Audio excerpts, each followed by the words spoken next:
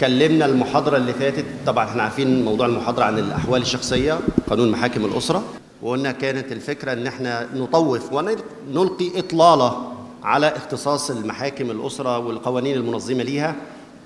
مش بنتكلم يعني تفصيلا أو تحديدا في نقاط معينة أو قضية معينة إحنا مجرد يعني إيه عناوين أو إطلالة سريعة يعني. دي نسخة من طبعة الأمم المتحدة. المؤلف بتاعي طبعته الأمم المتحدة وزعته على كل رؤساء محاكم المصرية اللي شغالين أحوال شخصية. زي ما قالت المستشارة أو الزميلة العزيزة الأحوال الشخصية القانون ما عرفهاش ولكن عرفتها محكمة النقض وقلنا الأحوال الشخصية في مفهومها كل ما يتعلق بحالة الشخص الأهلية الزواج الطلاق وقلنا المفروض في الأحوال الشخصية إن هي بتخضع لأحكام الشريعة الطائفية أو أحكام الديانة بتاعه طرفي التداعي وقلنا من ضمن المسائل الأهلية والوقف والميراث والوصية والهبة إلا أن المشرع المصري بعض هذه المسائل اختصها ونظمها بقواعد عامة تطبق على المصريين بغض النظر عن الديانة بتاعتهم. من ضمنها قانون الولاية على المال قانون الولاية على النفس قانون الأحكام الوصية الوقف الهبة كل هذه المسائل نظمها المشرع المصري بقواعد عامة مجردة تطبق على المصريين جموع عموما جميعا بغض النظر عن ديانتهم مسلمين أو غير مسلمين. وقلنا بالنسبة للأجانب يطبق عليهم قواعد الإسناد القاعدة الخاصة بهم يعني. وقلنا أهمية معرفة مدلول الأحوال الشخصية عشان أعرف حاجتين الاختصاص القضائي والاختصاص التشريعي. الاختصاص القضائي أنه محكمة أنا هرفع لها الدعوة الخاصة بالأحوال الشخصية الاختصاص التشريعي انه القانون اللي هو بيكون واجب الإيه؟ التطبيق. وقلنا اختصاص محاكم الأسرة باختصاص مسائل الأحوال الشخصية اختصاص متعلق بالنظام العام. اختصاص متعلق بالنظام العام واختصاص حصري. كل ما يتعلق بالأحوال الشخصية تختص بنظرها محاكم الأسرة. قلنا استثنينا بعض الدعاوى المدنية رغم انها متعلقة بالاحوال الشخصيه ولكنها تعتبر هي نزاع مدني زي دعوى تزييل الحكم الأجنبي الصادر من محكمة أجنبية. ده ما تختص به محكمة الأسرة وإنما تختص به المحكمة الإيه؟ المدنية. طيب قلنا الاختصاص التشريعي قوانين لا تحكم إجراءات المسائل الأحوال الشخصية زي ما قالت الرئيسة قوانين إجرائية وقوانين موضوعية. قلنا القوانين الإجرائية تاني قانون 1 سنة 2000 قانون 10 سنة 2004 قانون 13 سنة 68 قانون مرافعات 25 68 قانون الإثبات قانون المدني 131 لسنة 48 قلنا القوانين الإجرائية الخاصة بالأحوال الشخصية وردت بها استثناءات تعتبر استثناءات على القواعد العامة الواردة في قانون الإيه؟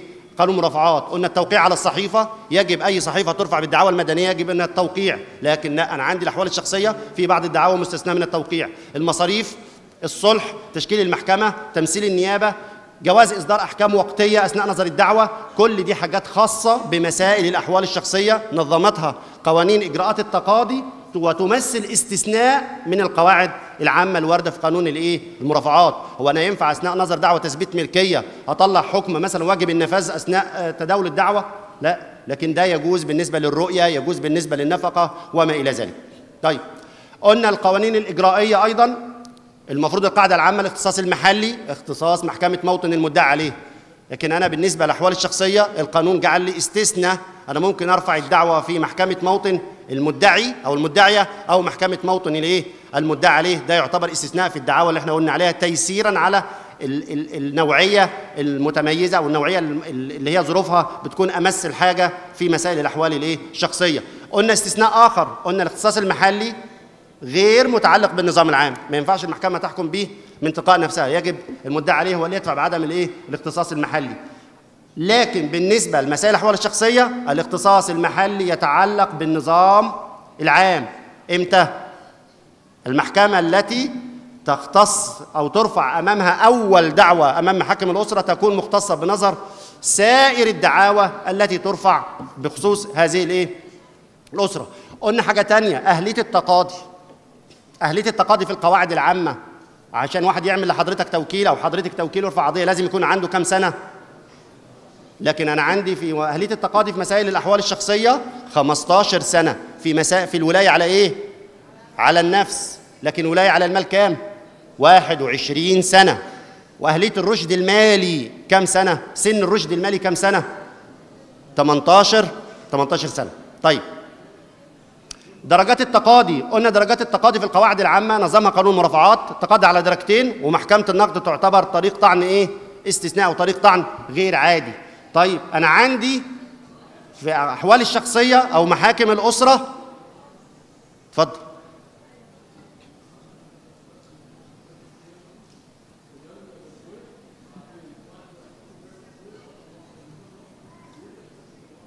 تمام. بقى من ضمن الحاجات الاستثناءات اللي إحنا قلناها. إحنا بس بنذكر في عجالة. اتفضل.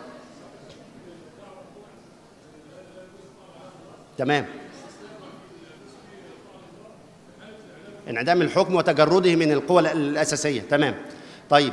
وقلنا فيه إعفاء من دعاوى النفقات بكافه مراحل التقاضي وتكلمنا إن الفرق بين المتعة وال وال وال والنفقة. وقلنا عرض الصلح في مسائل الأحوال الشخصية اللجوء لمكاتب التسوية. المحكمة من حقها تبصر الخصوم. حضور الخبيرين تمثيل النيابة وقلنا الاختصاص المحلي وقلنا أهلية التقاضي 15 سنة. قلنا أهلية التقاضي الدفع لو واحد سنه أقل من 15 سنة يبقى قلنا ده دفع شكلي ولا دفع موضوعي؟ قلنا دفع شكلي. طيب الدفع اللي يبدأ مني أنا أقول إيه بقى؟ عدم قبول. يعني لما أكتب مذكرة لما يكون الخصم مثلا بالنسبة لي المدعي أقل من 15 سنة ورفع الدعوة بشكل أنا كمحامي أدفع بقى بإيه؟ بعدم القبول. يعني لما اكتب مذكرة أو أبدي في محضر الجلسة أقول إيه؟ إيه الدفع الصحيح؟ ها؟ أقول إيه؟ عدم قبول الدعوة؟ رفعها من غير ذي صفة؟ بطلان عدم صحة انعقاد الخصومة. عدم صحة انعقاد الخصومة وإحنا قلنا عليه دفع إيه؟ شكل. طيب. هذا البطلان ده الجديد اللي أنا برضك يمكن بنتذكره يعني البطلان نسبي البطلان المتعلق بعدم اكتمال الأهلية التقاضي نسبي. بالظبط كده. زي إيه؟ أم رفع دعوى نفقه للصغيرين. واحد فيهم 15 سنة وواحد أقل من 15 سنة. هترفع حضرتك معلش سيادة المستشار. هتدفع بالدفع بعدم الانعقاد بالنسبة لمين؟ رويدا بس. ها؟ هتدفع. هتدفع بإيه؟ واحد عندك 15 سنة وواحد أقل من واحد تجاوز ال 15 وواحد أقل من 15 ها؟ الاقل من 15 طب ما هي والدته صاحبة الصفة هي باعتبارها إن هي الممثلة رفعت دعوة. ها؟ شفت؟ هو ده هو ده الكلام. شفت الفكرة؟ إن أنا دماغي راحت للأقل. خلي بال حضرتك. لا أنا الدفع بالنسبة لي هيبقى عدم قبول الدعوة بالنسبة لمن تجاوز ال 15 سنة. ليه؟ لأنه خلاص تجاوز المفروض هو يرفع الدعوة يختصم بشخصي وليس بصفة إن والدته هي الممثل بالنسبة له. وصلت لحضراتكم؟ طيب قلنا حاجة تانية. بلوغ السن اكتمال السن أمام محكمة الاستئناف. تمام؟ وقلنا طبعا إنه من لوازم إنه هذا الدفع شكلي يجب أن يبدأ لو أنت ما حضرتش أمام أول درجة يجب تكتب الدفع ده أول سبب من أسباب الاستئناف. لأنه أنت لو جبته نمرة اثنين هيبقى سقط حقك في التمسك بهذا الإيه؟ بالدفع الشكلي. تمام؟ طيب حضرتك ما حضرتش أو حضرت والمحكمة ما رضيتش تستجيب الدفع بتاعك واستأنفت. أثناء الاستئناف كان الاقل من 15 سنة بلغ سن 15 سنة. ها؟ خد خد يا محمد خد يا بس ينفع محكمة الاستئناف تصحح هنا وت وت وت وتستكمل نظر الدعوة؟ حد يديله ها؟ لا ليه؟ لأنه إحنا بنقول العبرة بالإيه؟ انعدام الخصومة والعبرة بوقت رفع الدعوة والانعدام لا يرد عليه إيه؟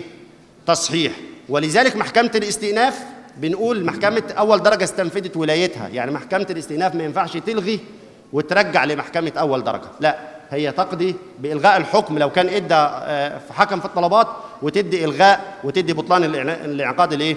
الخصومة. طيب قلنا حاجة مهمة جدا المرة اللي فاتت هناك بعض القيود التي وضعها المشرع كقيد على قبول الدعاوى أمام محاكم الأسرة. خلي بالكم الموضوع المهم ده.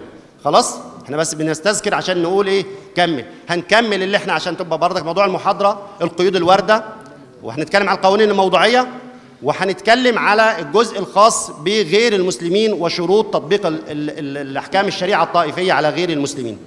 القيود الواردة على قبول الدعاوى قلنا هم أربع قيود. القيد الأول القيد المتعلق بسن الزوجين. القيد الثاني الدعاوى الناشئة عن عقد الزواج غير الموثق. القيد الثالث دعاوى التطليق والفسخ من الزواج غير الموثق. القيد الثالث دعاوى الطلاق بين الزوجين المصريين غير الايه؟ المسلمين. لقبول الدعوة أمام محاكم الأسرة السن كام سنة؟ كام؟ لا أنا ما بقولش أهلية التقاضي. أنا بقول فيما يتعلق بدعاوى العلاقة الزوجية أو إثبات الزواج عند الإنكار. كام؟ 15 18 16 ها؟ الزوجة 16 والزوج 18 وده طبعا بردك وضع غريب في القانون لأنه قرار وزير العدل عدل لائحة التوثيق بالنسبة للمأذونين وحظر على المأذون أن يبرم توثيق أي عقد زواج الزوجين أقل من 18 سنة. فالمفروض بالتبعية السن المفروض في القانون إيه؟ يبقى 18 سنة للايه للاثنين خلي بال حضراتكم. المادة 17 بتقول إيه؟ لا تقبل الدعاوى الناشئة عن عقد الزواج إذا كانت سن الزوجة 16 أقل من 16 ميلادية. وسن الزوج أقل من 18 إمتى؟ أحسب السن عشان أقبل الدعوة وأقبلها إمتى؟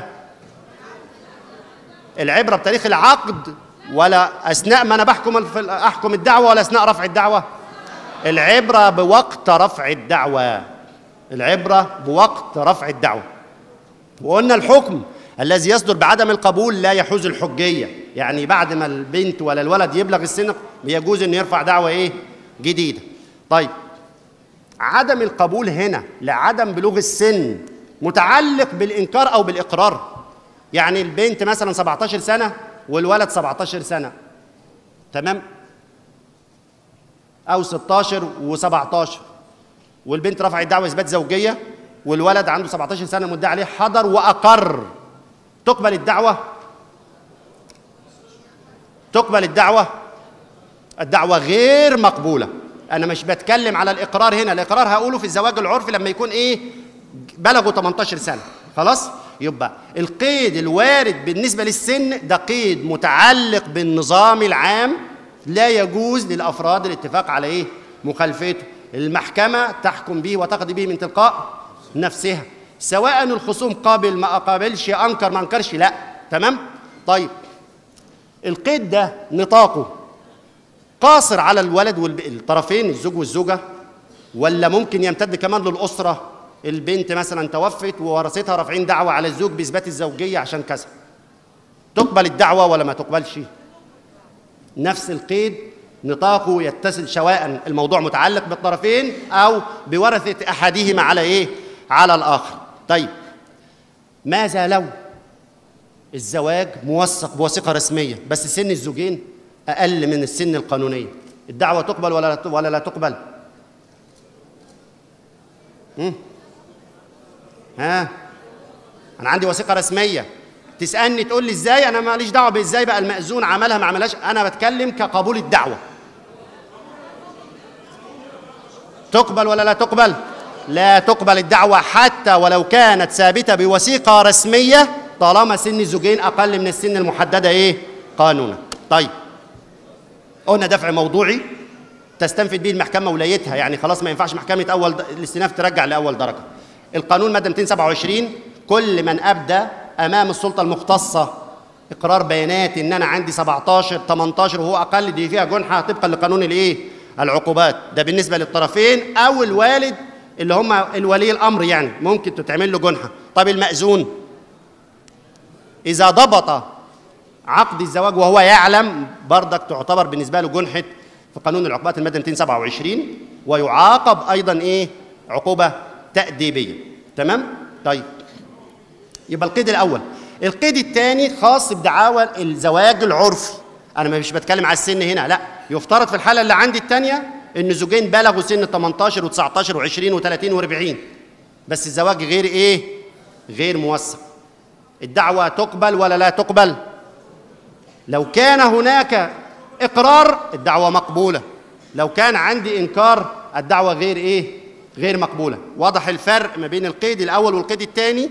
القيد الأول ملوش علاقة بالقبول أو الإنكار. حتى لو الزواج الوثيقة ثابتة بوثيقة رسمية الزواج غير مقبولة طالما أقل من السن القانونيه تمام؟ الحالة الثانية لا هم بلغوا السن ولكن الموضوع متعلق بالإنكار المدعى عليه بينكر العلاقة الزوجية. خلي بال حضراتكم نعم. آه. أهم حاجة المدعى عليه. أنكر ولا بيقر. بس هو ده السؤال. المادة 17 بتقول إيه يا بهوات؟ لا تقبل عند الإنكار. يبقى مفهوم المخالفة لو فيه موافقة عندي خلاص مفيش مشكلة. الدعوة بالنسبة لي إيه؟ مقبولة وابحث الموضوع الدعوة. لا تقبل الدعاوى الناشئة عن عقد الزواج. خلي بال حضراتكم عشان دي فيها مشكلة. المادة 99 من لائحة ترتيب المحاكم الشرعية كانت تقول إيه بقى؟ لا تسمع عند الإنكار دعاوى الزوجية. خلي بال حضراتكم.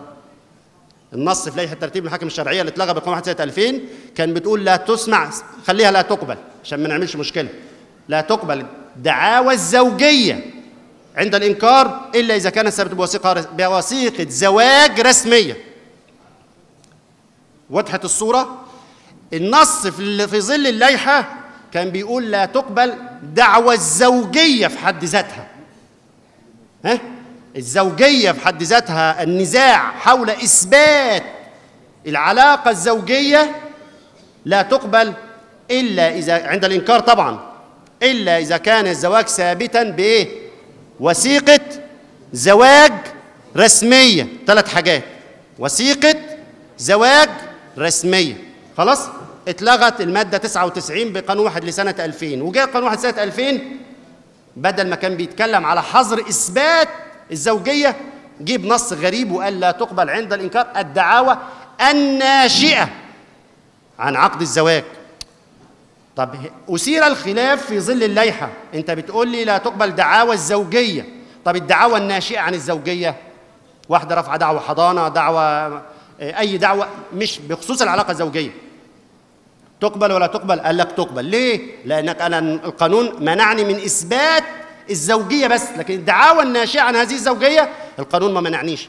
العكس بقى جه القانون 1 سنة 2000 بدل ما يعالج هذا اللبس جاء بنص غريب. قال لا تقبل إيه؟ الدعاوى الناشئة عن عقد الزواج. طيب يظل التساؤل. طب ماذا؟ موقف دعوى الزوجية في حد ذاتها. برفع دعوى البنت بترفع دعوى إثبات الزواج مش الدعاوى الناشئة عن الزواج. فبرضك أثير إيه؟ اللبس عكس الإيه؟ النص الملغي.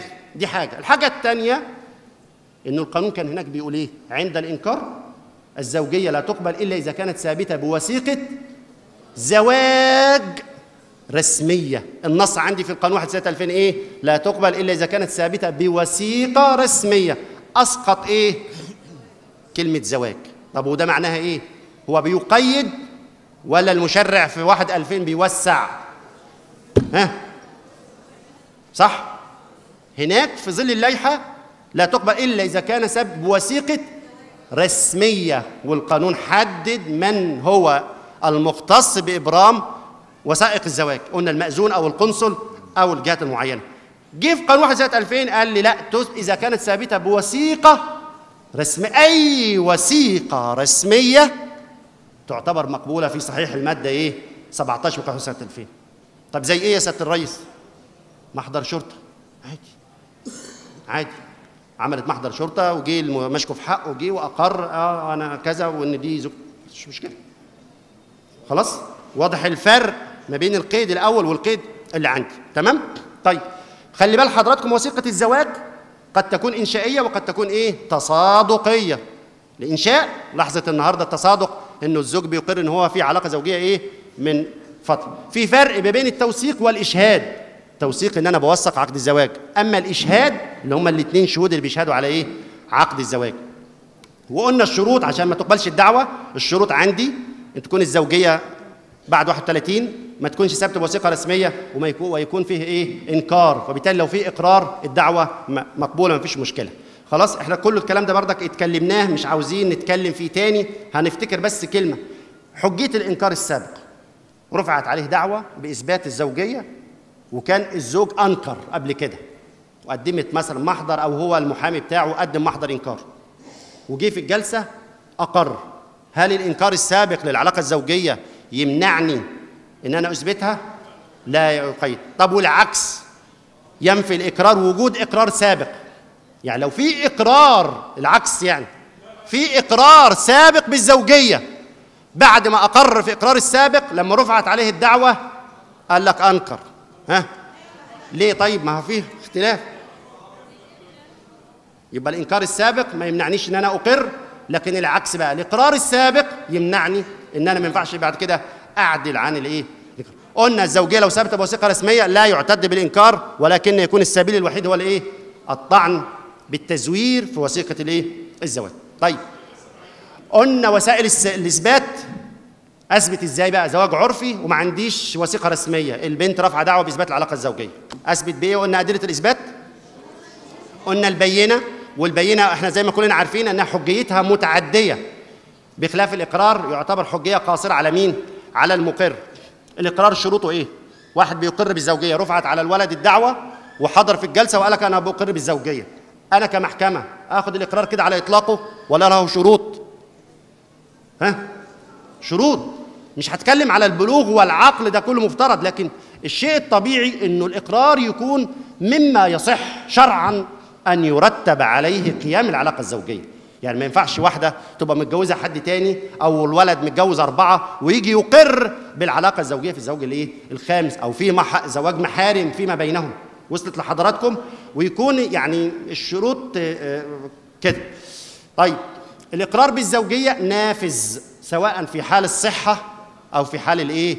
المرض بخلاف الطلاق في مرض الموت ده فيه إيه؟ تفصيلاته فيه كلام كتير وإمتى يعتد وإمتى تمام؟ يبقى قلنا البينة الإقرار الرسائل بشرط تكون الرسالة مضمونها فيها عبارات توحي بأن هناك علاقة إيه؟ زوجية. طيب حجيه حكم قضائي قلنا لو هناك حكم مثلا دعوى إثبات نسب. والحكم أشار في أسبابه إلى إنه فعلا في علاقة زوجية بين المدعى عليها وبين والد والدة الصغير. هذا الحكم في أسبابه يعتبر حاز حجية فيما يتعلق بثبوت العلاقة الزوجية. طيب حكم صحة التوقيع يحوز حجية في إثبات علاقة زوجية؟ هي نصحة وجابت حضرتك أو حضرتك وقالت لك والنبي خدي لي عليه حكم صحة توقيع بالورقة العرفية اللي إحنا عاملينها دي. ها؟ وخدت حكم فعلا عليه بصحة التوقيع. لما ترفع الدعوة ها؟ خالص. ما أنا لسه هقول والله العظيم. شفت سياده المستشار؟ هي لا لا تقبل ولكن زي الحالة اللي قال عليها سياده المستشار. لو كان هو حضر بشخصه وأقر بكده يعتبر تقبل الدعوة الزوجية. طيب حجيه الحكم الصادر بالبراءة في جنح التزوير توقيع على عقد زواج عرفي واحدة. تمام؟ رفعت جنحة مباشرة على واحد إنه زور عقد زواج عليها ادعى إنه هو زوجها. تمام؟ خلاص؟ واضح المثال؟ هو عمل عقد زواج إنه الست دي أو البنت دي زوجته. تمام؟ طعنت هي بالتزوير والتزوير ما عرفش تثبت. المحكمة إدت له إيه؟ براءة. إدت إيه؟ براءة لمدعي الزوجية. هل حكم البراءة ده يحوز حجية في إثبات العلاقة الزوجية؟ بالراحه آه امم تمام. طالما هي بتنكر يعني بس بوديكم بعض الحاجات قد إيه تدق عندكم. ماشي؟ طيب المشرع بيشترط أو اللائحة التنفيذية بتشترط توثيق توقيع الزوجين على وثيقة الزواج. واحد فيهم ما كانش واخد لي باله ما ما وقعش على الوثيقة. ورفعت الدعوة أمام حضرتك الدعوة تبقى مقبولة ولا فيه بطلان بالنسبة للوثيقة؟ مم. وثيقة الزوج نسي ما يمضي على وثيقة الزواج. وقال لك قال لك ارفع لي دعوة باعتراض على إنذار طاعة أو اعمل لي إنذار طاعة على زوجتي الدعوة تبقى مقبولة وصحيحة ولا عقد الزواج باطل لعدم التوقيع على الوثيقة؟ ها؟ مفيش بطلان. خلاص؟ نخش على القيد الثالث. قيد دعاوى الطلاق من الزواج غير الموثق. خلاص عرفنا الحالات. إمتى يقبل الزواج العرفي وشروطه؟ هنيجي نخش على الجزئية الثانية الطلاق من الزواج العرفي أو الزواج غير الموثق. أيضا المادة 17 قال لا تقبل عند الإنكار الدعوى الناشئه عن الزواج. ومع ذلك تقبل دعوى الطلاق بشروط معينة أربعة. قلناهم المرة اللي فاتت واحد يكون الزوجين على قيد الحياة الزواج ما يكونش ثابت وثيقة رسمية أن يكون هناك إنكار. وتكون الطلبات فقط مقتصرة على إيه؟ طلب الطلاق فقط لا غير وقلنا الحكمة من القصة دي إيه؟ إن المشرع وجد إنه بدل ما يغلق الباب على التزوج عرفي إنه لهم باب يخرجوا من العلاقة الزوجية طيب قلنا هذا القيد متعلق بالنظام العام زواج عرفي والشروط دي مش متوفرة تمام؟ والدعوة رفعت بدعوى إثبات النسب. تقبل ولا لا تقبل؟ ها؟ بس كده. خل بعد حضراتكم دايما كده قاعدة. دعوى النسب خارج أي اعتبار خارج أي حسابات لأنه النسب الصغير ده ملهوش ذنب. دي حاجة. الحاجة الثانية أنه النسب فيه جزء متعلق بحق الله سبحانه وإيه؟ وتعالى. سواء الزواج ورقة بدون ورقة دعوى النسب تقبل في كلتا الايه الحالات. إلا في حالة بس واحدة بس خالص في حتة الانكار الإقرار لو كان المدعي عليه متوفي فلا ترفع الدعوة إلا بضوابط وقيود معينه عشان تمام؟ خلاص قلنا القوانين الإجرائية ونطاق تطبيقها تطبق على المصريين مسلمين غير مسلمين وتطبق أيضا على إيه؟ على الأجانب. خلاص؟ قلنا بعد كده يطبق من ضمن القوانين قانون الإثبات. قانون الأسرة قانون واحد سنة 2000 قانون مرافعات قلنا قانون الإثبات. خلاص؟ طيب الإثبات طب أنا الإثبات أنا بثبت مدني. أجيب أي اثنين شهود أجيب رجل ولا ست أجيب أي حاجة إثبات.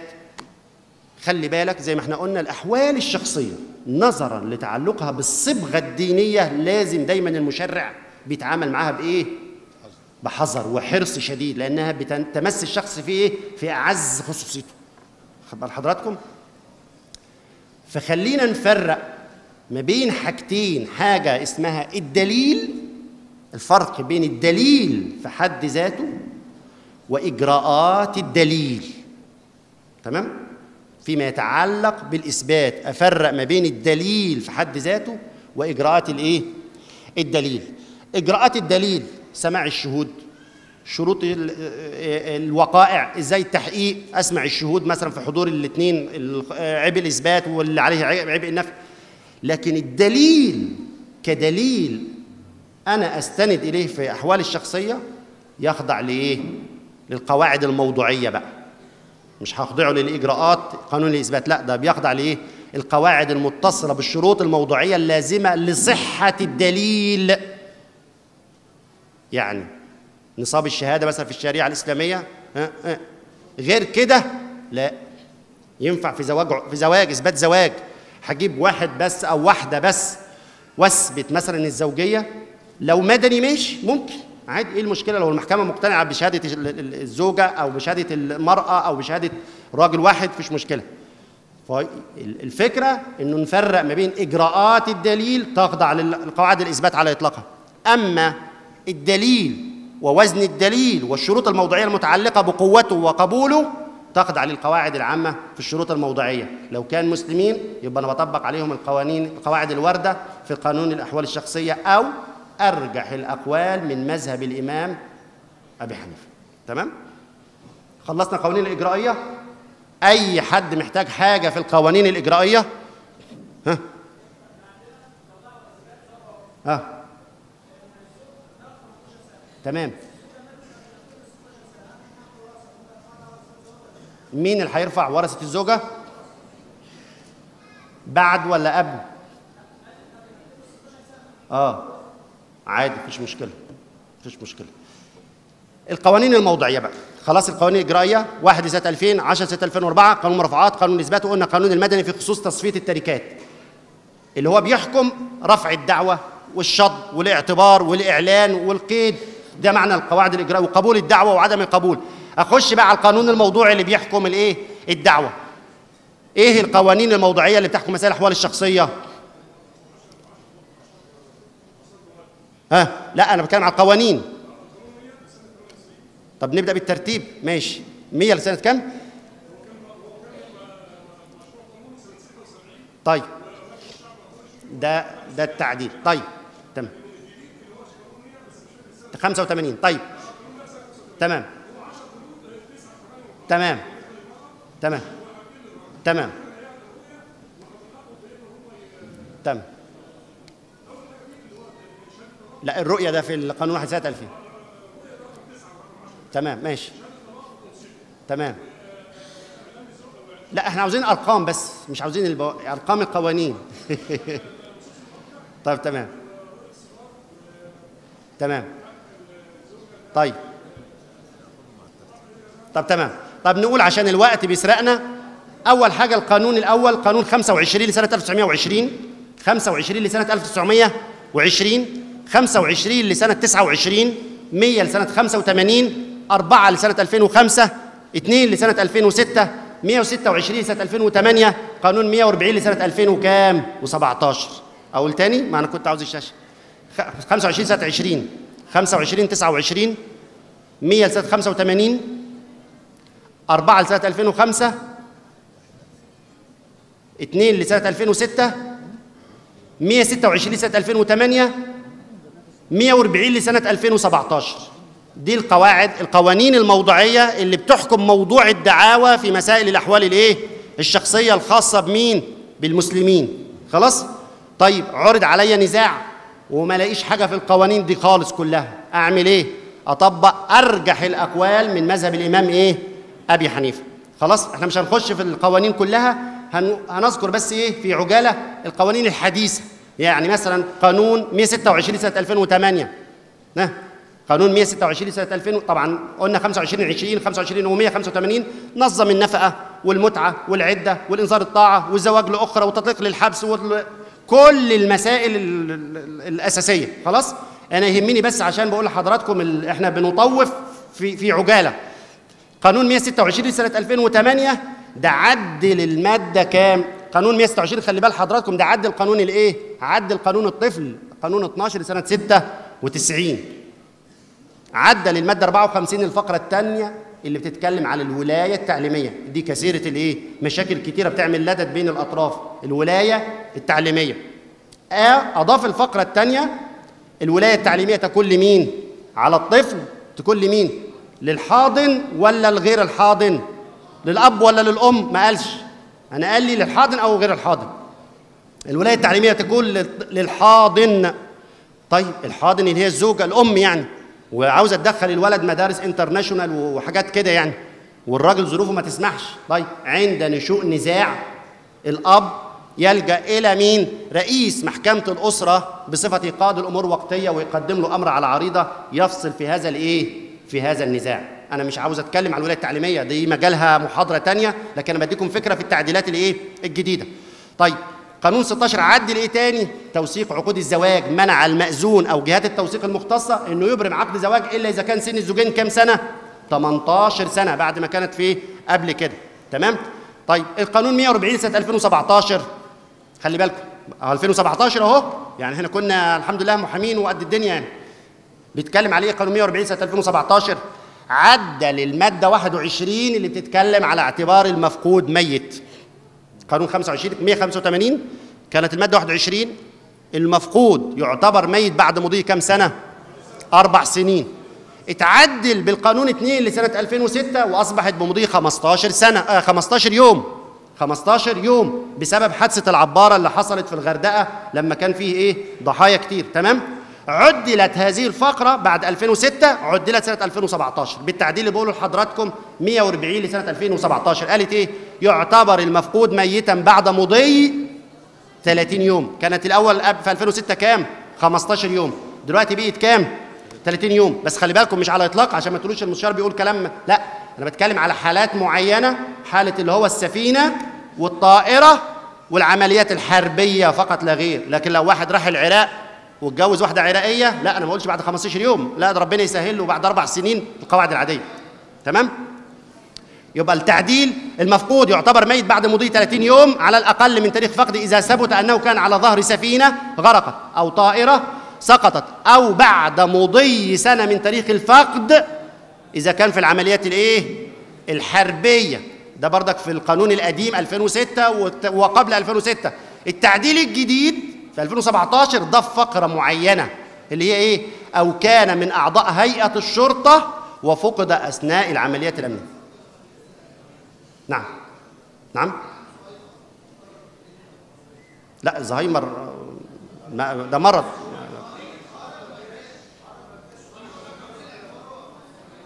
أربع سنين بس بيبقى كذا والتحري وكده يعني موجود مفيش مشكلة. ما إحنا بنقول الظروف يغلب عليها الهلاك. لو هو في ظروف يغلب عليها الهلاك في عمارة سقطت ولا كده خلاص مفيش مشكلة حتى لو سواء داخل القطر أو خارج القطر.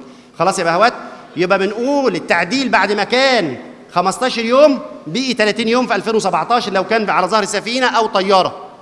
العمليات الحربية سنة. أضاف لها التعديل لو كان من أفراد هيئة الإيه؟ هيئة الشرطة. تمام؟ بردك سنة سنة زيه زي القوات المسلحة. آه هو بقول لك التعديل ضاف بس هيئة الشرطة. طيب الثاني طبعا الفقرة إنه يحكم بموت المفقود من تاريخ صدور القرار يصدر القرار يا اما من رئيس الوزراء أو وزير الدفاع أو وزير الداخلية على حسب الإيه؟ حسب الأحوال والزوجة تعتد والتركة تقسم لمين؟ الورثة الموجودين. ها؟ وقت ألو... وقت الفقد ولا وقت الحكم؟ ها؟ الحكم كاشف ولا منشئ؟ الحكم الذي يصدر من محكمة الأسرة باعتبار المفقود أو من رئيس الوزراء. كاشف ولا منشئ؟ طب إحنا عارفين طبعا الفرق بين الكاشف والمنشئ. كاشف يعني مركز القانوني بيرتد من تاريخ الواقعة. أنا بكشف عن حالة لكن منشئ لا. المراكز القانونية لا تستقر إلا أو لا تترتب إلا من تاريخ الصدور. ها؟ كاشف ولا منشئ؟ منشئ. تمام؟ هو كاشف عن الفضل لكن أنا ترتيب العدة وما إلى ذلك من تاريخ صدور القرار. طيب قلنا فيما يتعلق بالمسائل الإجرائية المشرع المصري حاول يوحد وبالفعل وحد الإجراءات التقاضي.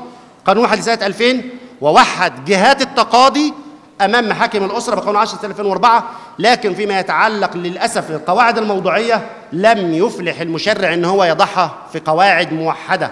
فترك غير المس- المسلمين يخضع لقواعد القوانين اللي قلناها وغير المسلمين يخضعوا للقواعد الإيه؟ الخاصة بالشريعة الطائفية. طيب. ال ال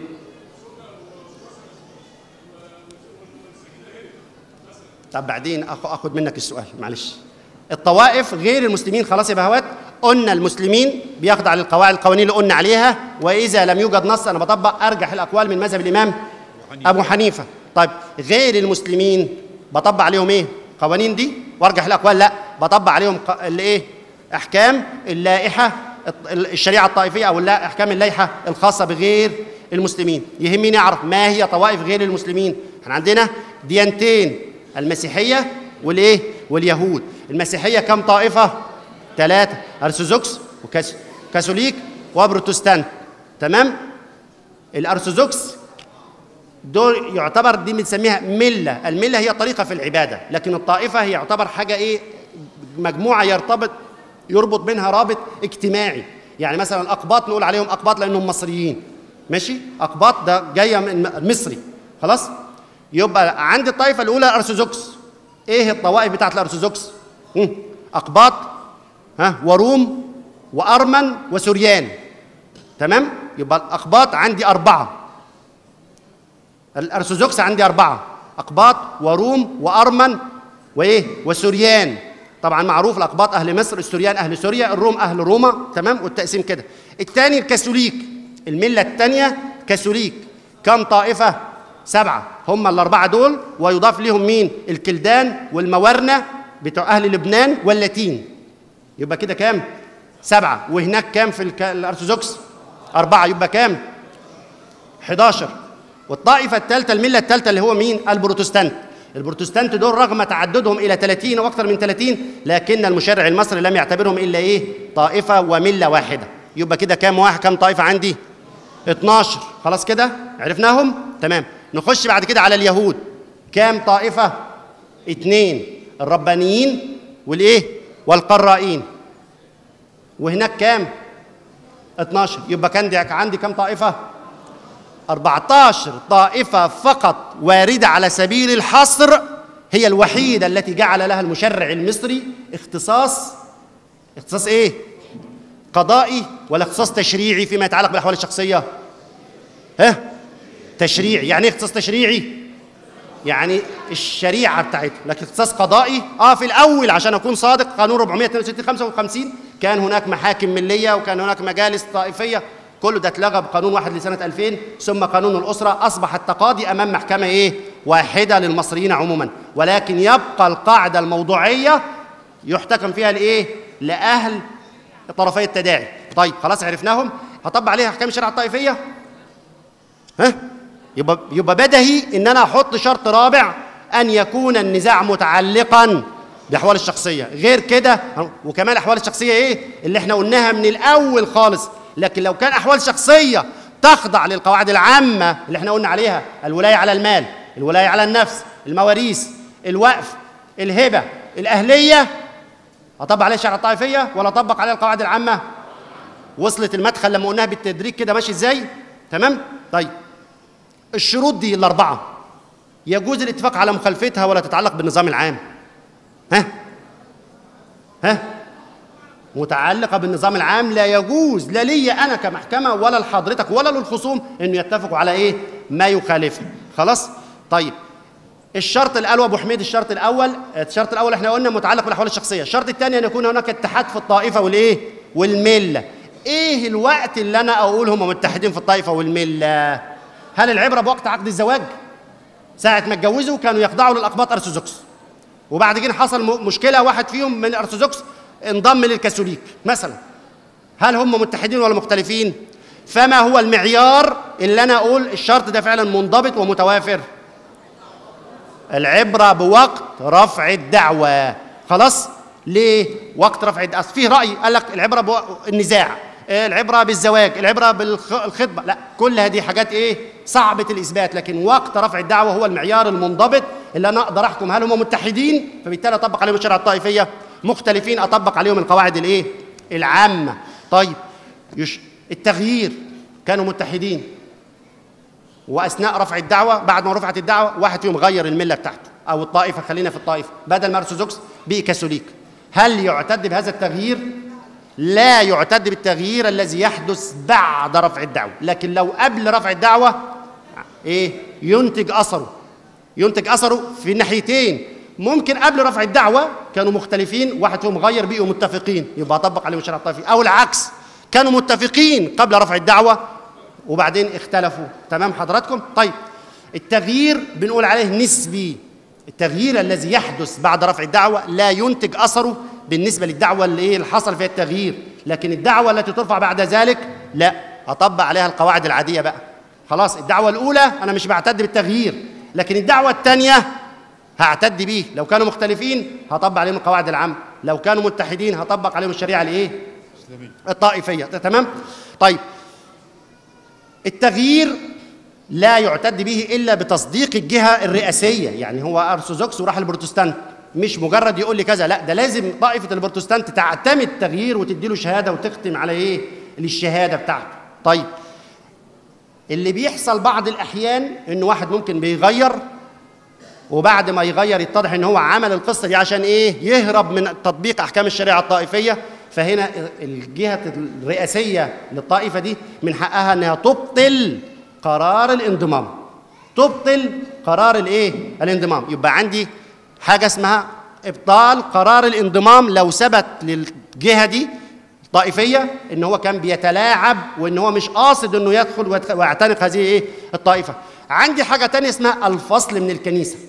الفصل من الكنيسة. إيه الفرق بين ده وده؟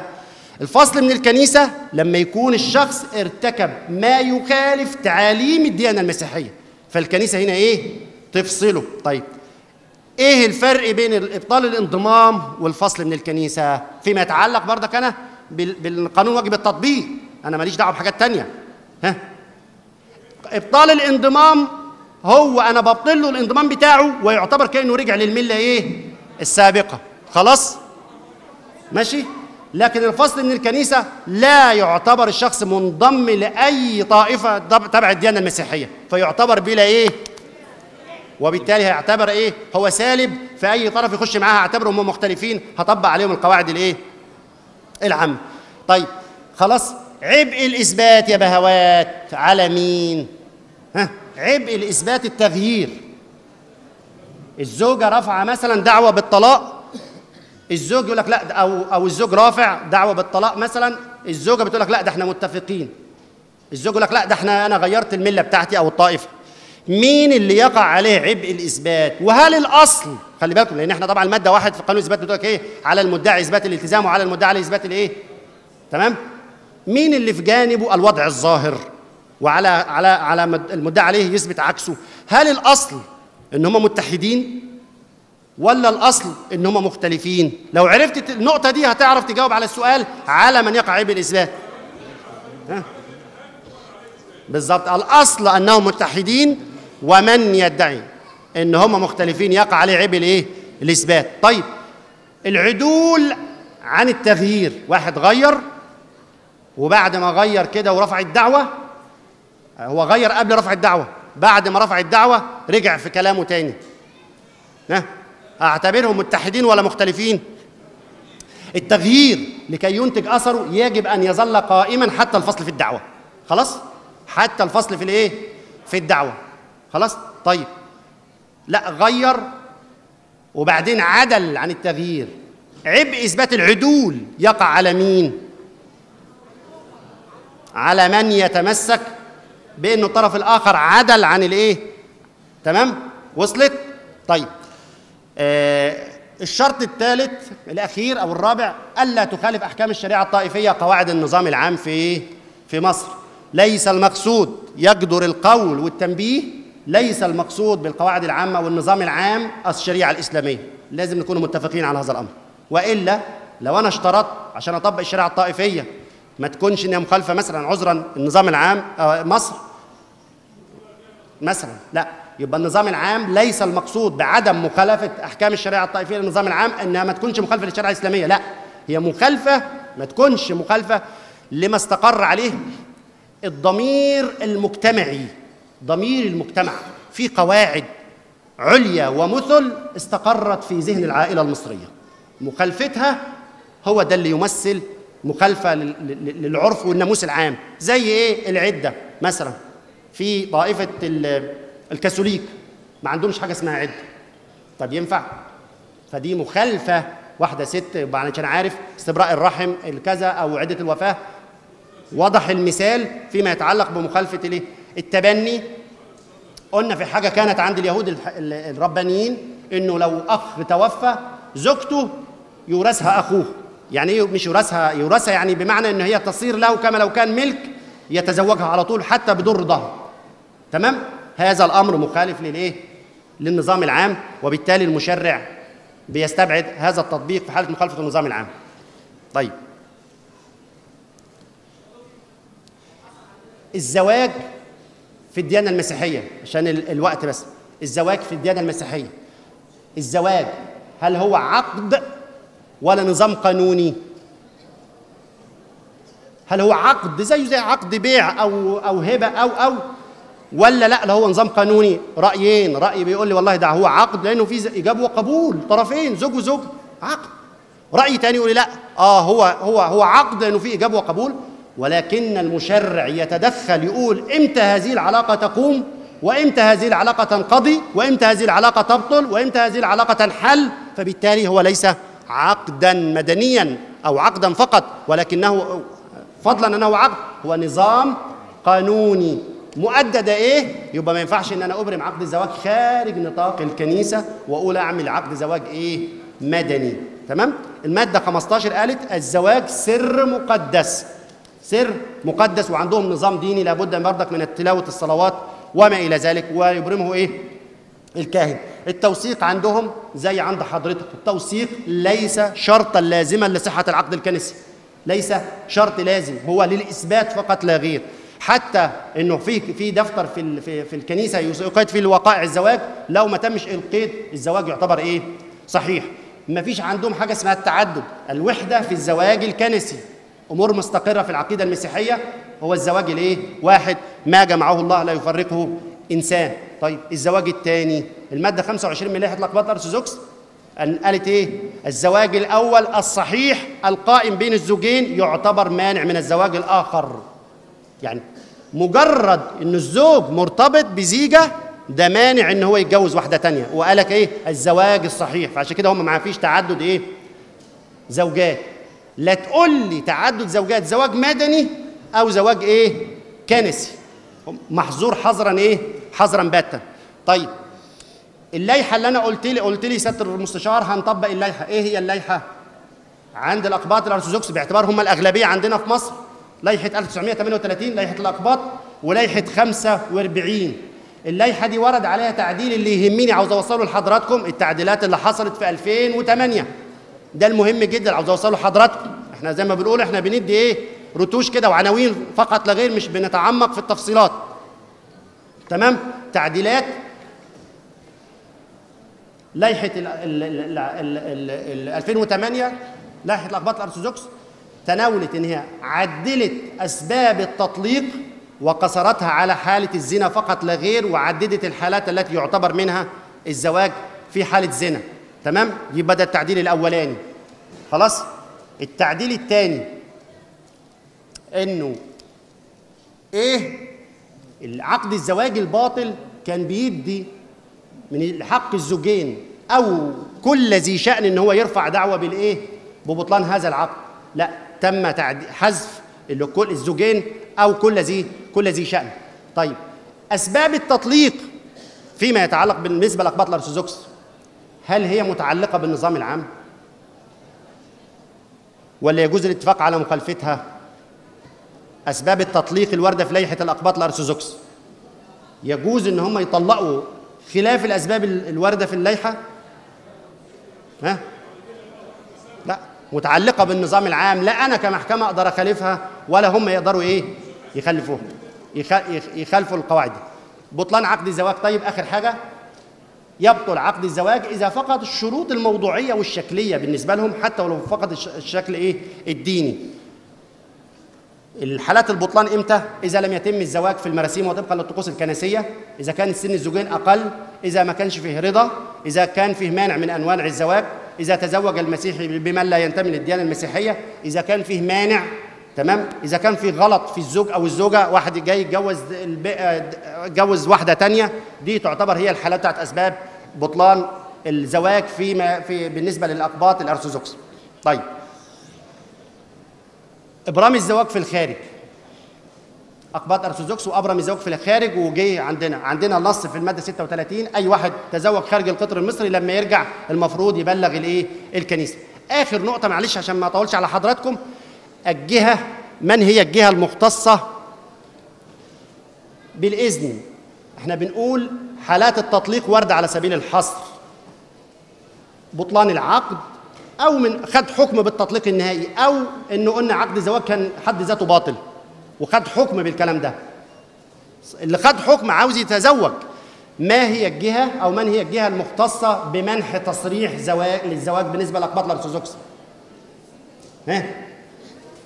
ها؟ المجلس الإكليريكي خلاص؟ بشرط يقدم هذا الطلب رفقة صورة من الحكم النهائي الصادر ببطلان عقد الزواج أو بانحلال عقد الزواج.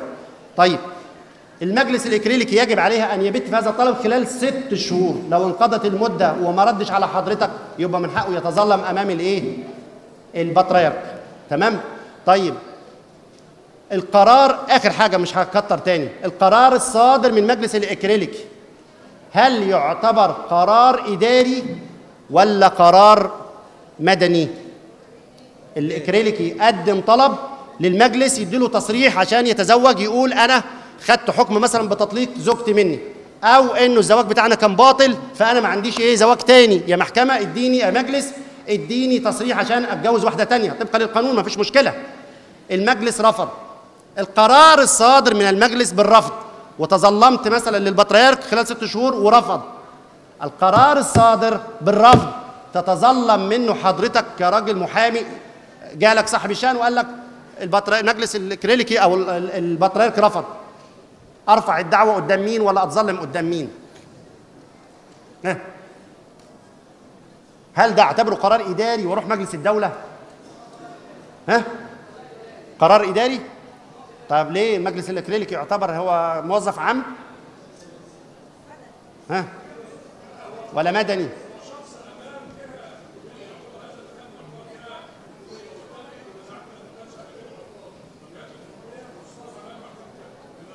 لا المجلس يعتبر القرار يعتبر هو إيه؟ يعني أنا لما بقدم طلب طلب بإيه؟ تصريح زواج. يبقى إذا متعلق بإيه؟ أحوال شخصية يا جماعة أحوال شخصية. من حقي ممكن أتظلم من أمر على عريضة طبقا للمادة مواد الإصدار قانون 1 سنة 2000 ولو ما كانش أرفع دعوة قدام مين؟ محكمة الإيه؟ محكمة الأسرة. تمام؟ يبقى نرجع تلخيص تاني نقول عرفنا الأحوال الشخصية القانون ما عرفهاش اللي عرفتها محكمة النقض قلنا المسائل الأحوال الشخصية المفروض الأصل فيها يطبق فيها ال- ال- العقيدة الدينية أو الأحكام الطائفية قلنا القانون خرج بعض المسائل وأورد فيها قوانين عامة تخضع للمصريين عموما قلنا القوانين الإجرائية قلنا القوانين الموضوعية وقلنا المسائل التي تحكم الأحوال الشخصية غير المسلمين وشروط تطبيقها واللائحة ويا رب يكونوا استفدتوا إن شاء الله تعالى.